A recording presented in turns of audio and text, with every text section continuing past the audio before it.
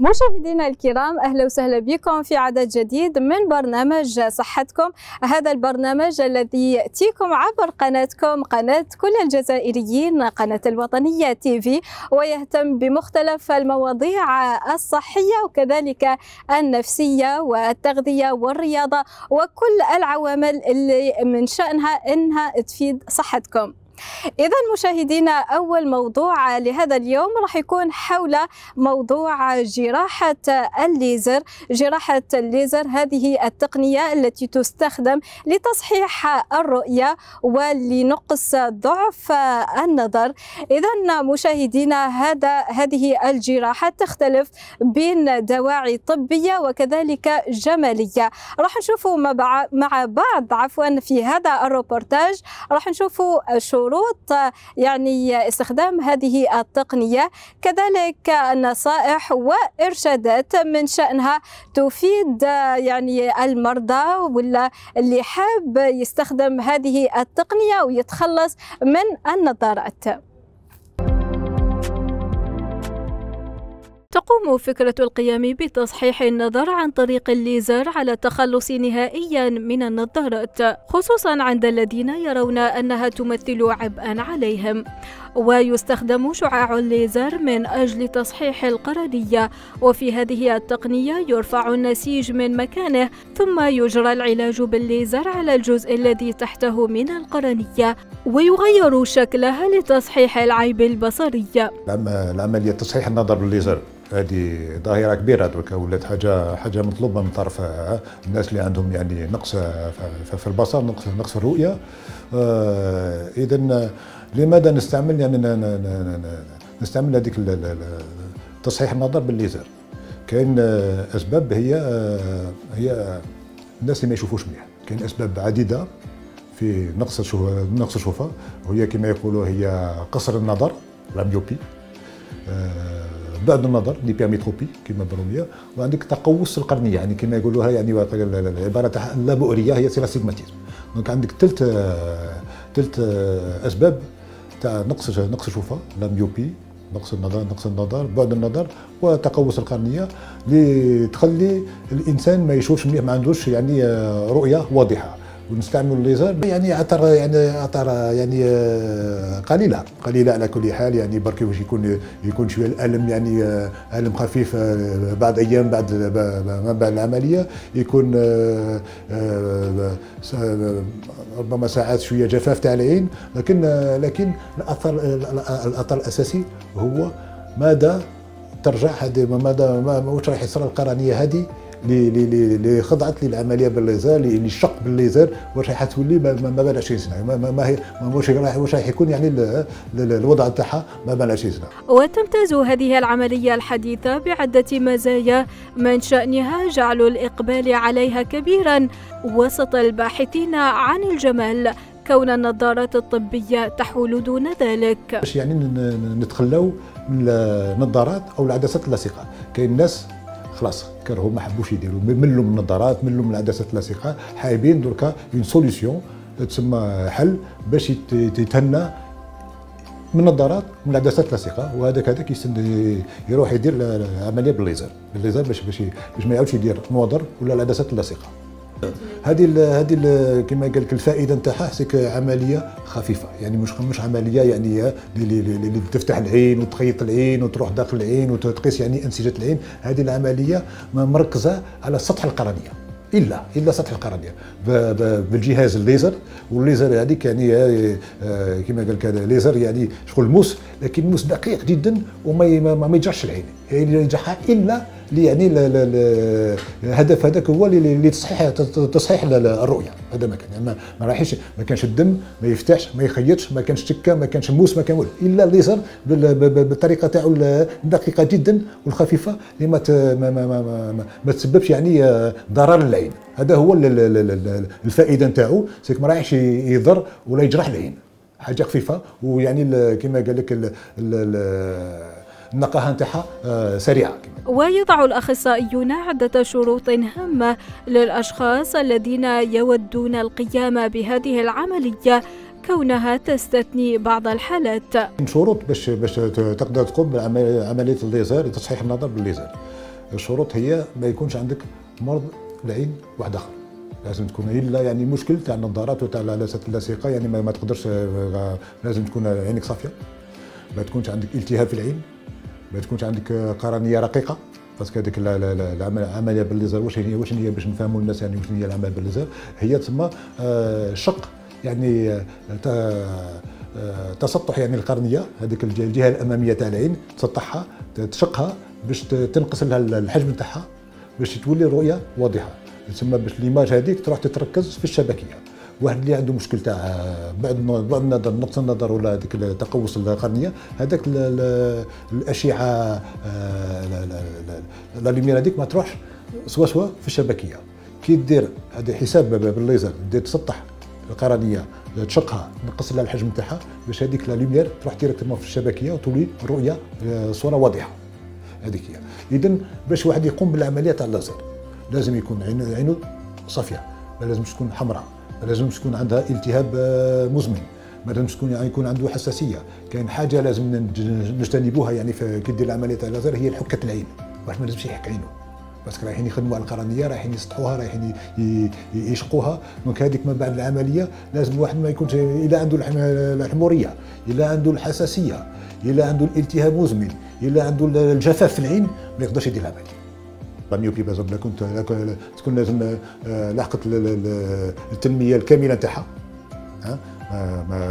اذا واحد يدير العملية ومازال قصر النظر مازال يتمشى مازال يتطور. هذاك يدير ليزر. بعد سنين يعاود يدير ليزر donc يكون تكون تروح الفعالية تاع تاع العملية.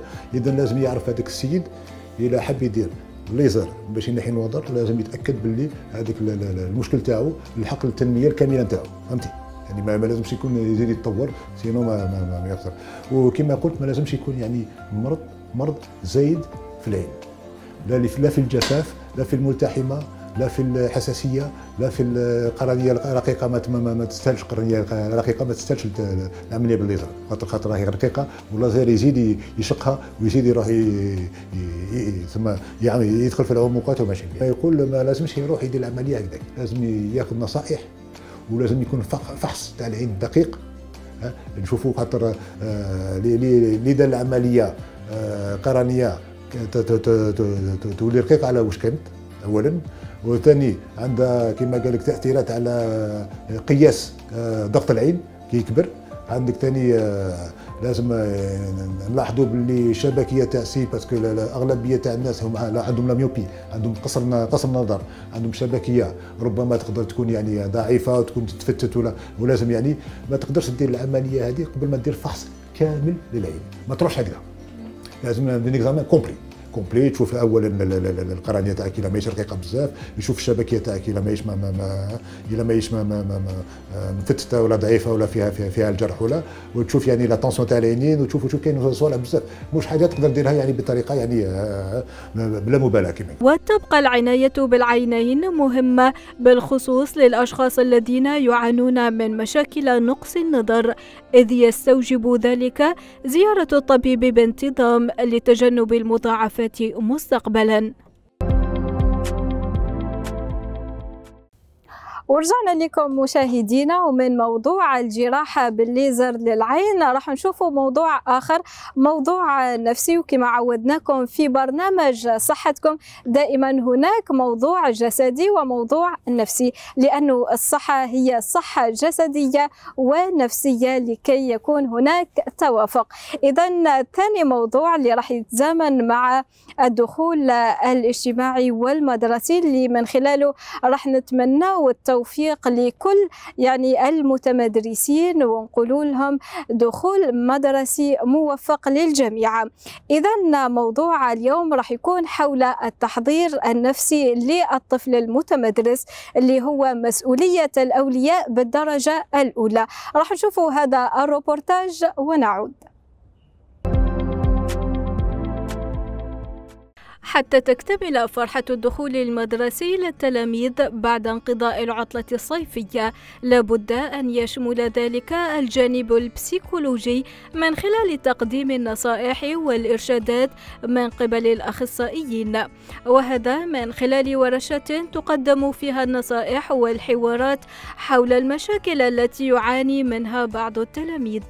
كهذه الورشة التي نظمت بدار الشباب بالقبة قبيل أيام من الدخول الاجتماعي. الورشة هذه اللي درناها الهدف منها أنه تحسيس تحسيس الأولياء أكثر من الأبناء. باش يكون لأنهم هما الخوف تاعهم والضغوطات تاعهم والقلق تاعهم آه، ينقلوه بغير عن غير قصد للأبناء تاعهم. اوليو باش يكون إحنا يهتموا بزاف غير بالتحضير الدخول المدرسي ويقول لك إيه الحالة النفسية تاعو تكون مليحة. ما ما ياخذوش بعين الاعتبار ما ياخذوش بعين الاعتبار الحالات النفسية القدرات القدرات الفكرية آه، وننبه دائما على المحيط المحيط اللي عاش فيه.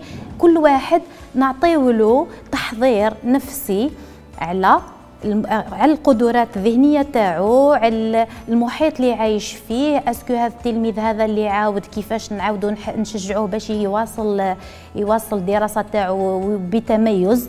وعلاش لا لا؟ وهكذا وأنا في الورشات نحب نمد نفتح مجال للأولياء يطرحوا أسئلة باش نعرف كل واحد على حساب القدرات تاعو على حساب البيئة تاعو نعطيهم نصائح بإذن الله.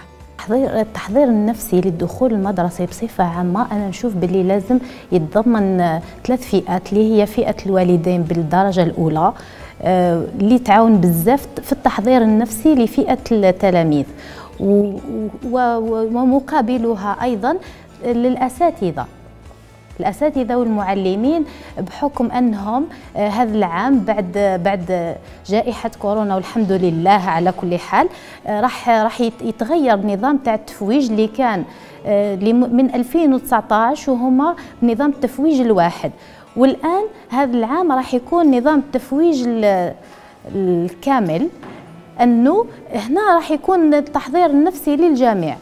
لأني نشوف باللي الأولياء راهم متخوفين جدا جدا من هذا التفويج الكامل اللي يوالفوا يقول لك أنا يا أبنائي والفوا باللي راهم شغل قراو نص نهار وما قراوش والفوا هيدا والقسم كان فارغ الاستيعاب تاع التلميذ فهذا كامل لازم يكون ياخذوا ياخذوه الوالدين بعين الاعتبار وأيضا التلاميذ وأيضا الأساتذة. كل على بعض. وأيضا اسمحي لي وأيضا كاين تلاميذ اللي هما مرحلة الابتدائي اللي دخلوا سنة أولى في 2019 هذو أهم فئة لازم يكون عندهم تحضير جيد هذا العام لأنهم والفوا آه، والفوا باش والفوا يقراو يومين في الأسبوع.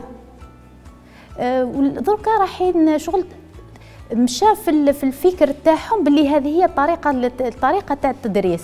راح تجيهم شوية صعيبة. بصح كي يكون كاين تحضير نفسي راح تكون أريحية أكثر ونتائج راح يقدموا نتائج أفضل بإذن الله. أنا يوسف بن شايب يوسف عمري 14 سنة ونقرأ سنة سنة رابعة تعليم متوسط. يا حاب نزيد شوية بصح راني مستعد. لازم نحفظ نوجد قرايتي خش عندي شهادة تعليم متوسط هذا العام. تما لازم نتابر باش ننجح. نحب شغل. أنا اللي نلخص أنا اللي ندير. شغل أنا وجدت كلش بس كل واحد يقول لك واحد تخمامه كل واحد كيش يفهم. تما التلخ تجيب لي تلخيص واحد ما نعرفوش.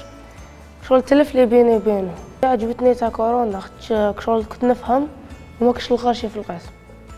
لا يقتضي التحضير النفسي للتلاميذ على دور الأخصائيين النفسانيين والمرشدين فحسب بل هو واجب على الأهل بالدرجة الأولى حيث أن تهيئتهم نفسيا قبل وأثناء الدخول المدرسي يلعب دورا هاما في تحفيزهم للدراسة. الأولياء ما لازمهمش يبينوا ما لازمش يكون عندهم تخوف من ال programme الجديد ومن من التفويج الواحد هذا ما لازمش يكون parce que هذاك هذوك المخاوف اللي يكونوا عند الوالدين automatiquement راحين ينتقلوا إلى الأبناء تاعهم. وهذاك هذاك هذوك المخاوف كي ينتقلوا للأبناء شغل ما درنا والو لازم نخدموا مع الأولياء. نخدموا مع الأولياء وهما ما يديروش ضغوطات لأبنائهم. par exemple au lieu قبل أيام من الدخول المدرسي شغل ما لازمش يروحوا يبداو الأبناء تاعهم يلا ترقد بكري لازم باش تنوض بكري لازم نحي لك هكذا شغل يتعاملوا معاهم بطريقة ذكية فقط. par exemple أنا au lieu باش نسبب له ضغط يلا ترقد ترقد وهو كان عنده ثلاث شهور وفايت وهو يسهر ويروح ويحوس وكل واحد كيفاش جوز العطله تاعو من بعد يجيه في الأيام الاخيره هذوك الضغوطات هما اللي راح يخليوه يشوف الدخول المدرسي هذا شغل الخريطه الذهنيه تاعو ما, راحش تكون سليمه راح يدخل بمخاوف بقلق هذا القلق والمخاوف منين يجيو راحين الوالدين هما اللي راحين يغرسوها في الذهنيه تاع الطفل تاعو par exemple مثال صغير au lieu باش أنا نحتم على وليدي يرقد عند ساعه أنا هذاك النهار صباح نوضو بكري كي تنوضوا بكري تحتموا ينوض بكري راح يعيا في النهار automatiquement يرقد في الليل شغل راني راني درت خطوه بدون ما نسبب له ضغط هذا العام نهضروا بصفه عامه لأنه كاين كاين تلاميذ لاول مره دخول مدرسي هذا راح يكون شيء عادي راح يكون التحضير النفسي المعتاد عليه أنها الأم من قبل في التسجيل ترافق وليدها تديه تحكي له تكون في الطريق تحكي له تقول له فوالا هذه هذه المدرسة راهي مكان ثاني كيما البيت راح تصيب معلمة كيما الأم تاعك هذا هو التحضير النفسي. مع المديرة كي المقابلة الأولى شغل راح تكون المدراء راهم ما شاء الله المقابلة راح تكون مليحة الطفل راح يحب هذيك المدرسة. الضغط النفسي على التلميذ من قبل الأهل لدفعه لتحسين مستواه الدراسي قد يؤثر عليه سلبا عوض أن يحقق نتائج جيدة. ولهذا ينصح بعدم عكس رغبات الأهل التي لم يحققوها على الطفل. وللأسف راني نشوفوا في ظاهرة راهي تمشي وتتزايد. تاع التلاميذ عندهم. الحمد لله ربي خلقنا كامل سواسية بغض النظر على عنده اضطرابات ولا عنده تخلف عقلي ولا آه، شغل الأولياء واش يديروا؟ عدو ما يهمهمش ما يهمهمش وليدهم ولا واش راهو حاب يقرا ولا القدرات تاعو. القدرات تزامنا مع البيئة اللي عايش فيها. هذه ناخذوها بعين الاعتبار. يديروا مقارنات على النتائج فقط. par exemple أنا وليدي ما درت ما وفرتلوش بيئة سليمة وهذاك الطفل عنده بيئة سليمة. أنا ما نشوفش البيئة وين راهم عايشين. ويروحوا directement يشوفوا النتائج. وهذا خطأ. هذا au lieu باش راحين يحفزوا ولادهم باش يحسنوا راحين يديروا لهم آه، شغل يحبسوا لهم هذيك ولا يقللوا لهم. يعود عندهم شغل راني نشوف بزاف مقارنات بين وهذا خطأ. اللي تقدر تدخل يخدموا عليها الأولياء؟ من بداية النمو تاع الطفل تاعهم يشوفوا الميولات تاعو يشوفوا واش عنده مواهب واش قدراته. أه وهذه أنا ثاني نرجعوا للدخول المدرسي تاع سنة أولى. التحضير النفسي راح يكون عن طريق إنك أنت راكي جبتي من الطفل تاعك واش يقدر يكون واش يحب. أنت هو يحب هذيك المهنة يحب هذاك عنده كنموذج مهنة هذيك يكون عنده شخص كنموذج مليح منا انت تعززي له هذيك الفكرة على حساب واش يحب هو. وتمشي مع هذه الفكرة هذه الفكرة إلى أن يصل par exemple لسنة ثالث رابعة متوسط عفوا رابعة متوسط باش يروح التخصص يا علمي يا أدبي.